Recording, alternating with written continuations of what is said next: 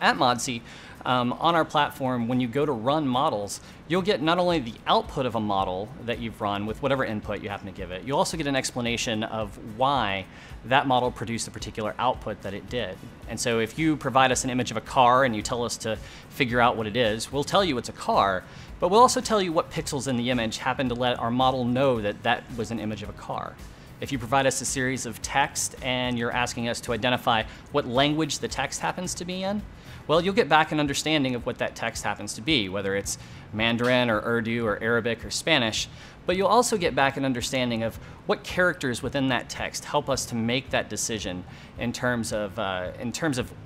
the overall classification that we made uh, for the text and its language of origin. And you'll get it using up-to-date explainability paradigms that we viewed to be the most uh, commercially ready for prime time, so that you can be sure that the explanations that you're getting are the best that could possibly be produced at that point. Right?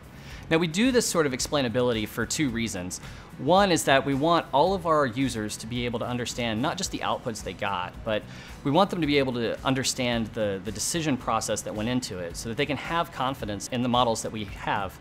um, and the outputs that are being generated.